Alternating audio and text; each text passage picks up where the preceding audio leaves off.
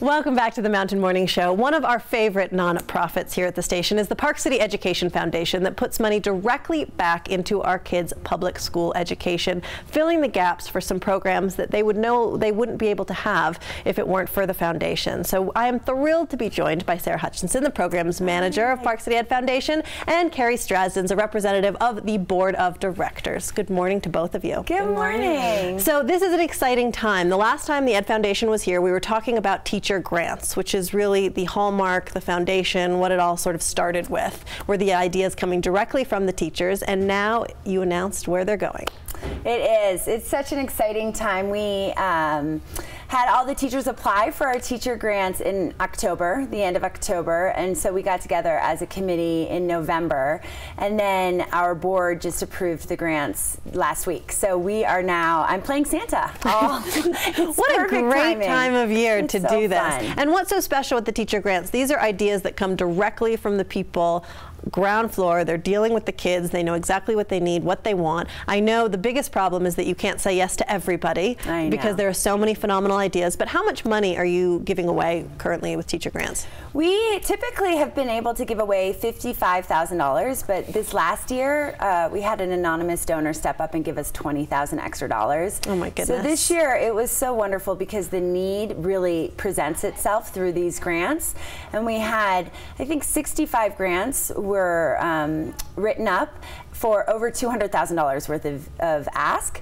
And so our committee decided to, you know, on the on the 38 most special innovative grants and we gave away $75,000. But in addition to that, we work with the um, administration and PTOs and Live PC, Give PC projects. And so we actually are able to fund even more through those avenues too. So probably there's over, you know, 40 grants that are going back into the classrooms. And I'm sure each one is equally as impressive as the next. But if you had to just choose a few highlights that you want to make us aware mm -hmm. of mm-hmm. out of the group, what are some favorites? Well, this year we had some themes, and we usually do, and it was really interesting to see kind of what was bubbling up. Um, mental health and mindfulness was something that teachers are really considering. And so we were able to fund programs at each level. At a Trailside has a new mindfulness program coming their way. The high school is working with some uh, training for counselors and the nurses and peer-to-peer -peer training for um, support. So that was really, that felt really important this year. Absolutely. And we were able to fund that. Another one that um, came through, we uh, belovedly call fidgety furniture. and you have little kids, and I have little kids, yes. you have little kids. So we know that they don't like to sit still. And putting them in a desk is a little old school these days. Um, it works for some, some students. but, but not for all. Right, exactly. So we were able to My little boy will be in the not for all category. Whereas my daughter probably would actually just sit right, there. it just depends. Yeah. So you're but you're doing something to balance the odds. It really it, and it's really great because that those are the extras. That's the discretionary budget that just isn't funded necessarily from the legislation. So it's really fun to see what comes through. I mean, we've funded everything from stand-up desks to um, weighted animals and balls and you know all sorts of we call it fidgety furniture. I like that. We could use some of that around here, to be honest with you. Right. And exactly. so, Kerry, you have a multi-titled uh, resume right now. Of course, you're on the board of the Park City Education Foundation. You're also a senior manager at Deer Valley Resort. You're also a mom. How yeah. important was it for you to get involved of all the nonprofits here in town to, to choose the Ed Foundation? I am really excited to be part of the foundation. You know, I think um, I, my son is in Parley's. Um, I have a fourth grader at Parley's Park, and I just learning about what three years ago when I joined learning about what Park City Education Foundation does and some of the programs that they seeded and funded that took off and, and really um, helped some of the students in the, in the school and the teachers. Um, it's just something I'm really passionate about and fortunately Deer Valley is very passionate about it as well. Um, they really support the community, they, they love Park City Education Foundation. Um, we we champion, we help with uh, teacher grants, but we also do ex excellent educators program. Um, and Deer Valley supports these programs through, um, you know, financially, but also through resources and in-kind donations. So Well, and I think the, the Ed Foundation really does, everyone's passionate about it because it's the children of the community. Yeah. So mm-hmm. big businesses, resorts, everybody really likes to get behind the foundation and see how they can contribute. And what I found shocking was a lot of the programs that I would just take for granted, and of course that would be part of public school curriculum. Right. Right? Mm-hmm. When I when I read some of the, the programs from art uh, classes, right. STEM classes, mm-hmm. and what I think is so special, this is not just affordable preschool, it's to help kids get into college, specifically sometimes first generation Absolutely.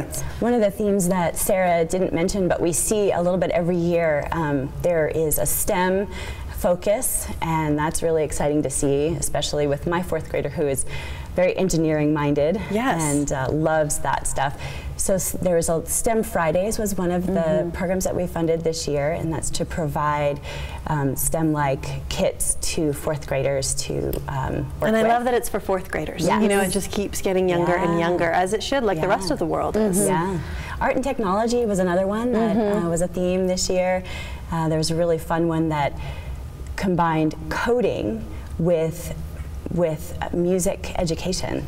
So they used um, coding and, and, computer programming to teach um, to, to teach basic music like theory, composition. Yeah, yeah. it's well, great. It's so amazing how math and music are so mm -hmm. tightly related. Mm -hmm. Yes, uh, when you see that with the kids, and I know uh, one of the visitors from the Ed Foundation that was on previously said they're introducing a pilot program for coding. I believe in kindergarten. Mm -hmm. It is starting in kindergarten. Exciting. I know, and there was a really it's a it's it's something neat to watch. It's a pilot program that we started last year, and we were able to through the generosity of a family fund four teachers at the elementary school. So now coding is K through fourth grade. And our children are going to be so much smarter than us. Mm -hmm. and we laugh because because sometimes at McPolin it might be in Spanish or Trailside it might be yes, in French. I'm, so I'm we're really in trouble. I know we are all in trouble. that is such a good thing. And I will tell you something I'm particularly proud of. We had the Park City Robotics Club on the show a little oh, bit more. Awesome. Eight out of the ten were female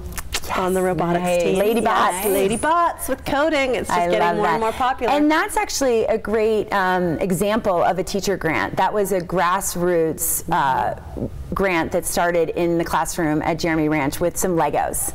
And then it went to a school grant because that's how our process goes. We like to pilot these teacher grants in the classroom and then if they are successful then the administration from that school can write a grant to fund it for multiple grades. And then if we watch that school and we see it catching on we can fund it at the district mm -hmm. level. So that's the progression of Park City Education Foundation. It's amazing. One little idea and it goes on to what it is now. And you are giving back $1.5 million back into our school system this year. I know none of this would be possible without all of the generous donations from the community members. Absolutely. And the, and the support of the companies and the support of the city. And it's really a, a beautiful collaboration in this community that really differentiates the education for these students graduating from Park City mm -hmm. schools. Yeah. Well, and especially to compete on a national, sometimes even global scale. Mm -hmm. A lot of times I think people think I'm in a, a mountain town, a ski town, mm -hmm. and they don't mm-hmm. necessarily mm -hmm. think of the education system. But once you get into these schools and you see what is offered, mm-hmm. we really do live in America's favorite I town. it's like, well, Sara Kerry, thank you for all that you do as thank a mom you. and a community member. And I know while we're all running around crazy trying to be Santa for all the kids in the community, you guys get to be Santa to the teachers right now, that. which thank is you. which is phenomenal. Thank all you right. for your time. Absolutely. Thanks, Eliza. Thank you for joining us on today's Mountain Morning Show. If you want to get involved with the Park City Education Foundation, be sure to go online to their website. You can always donate and contribute to the future of our children right here in the Park City community. We're going to take a quick break. We'll be back right here on Park City Television.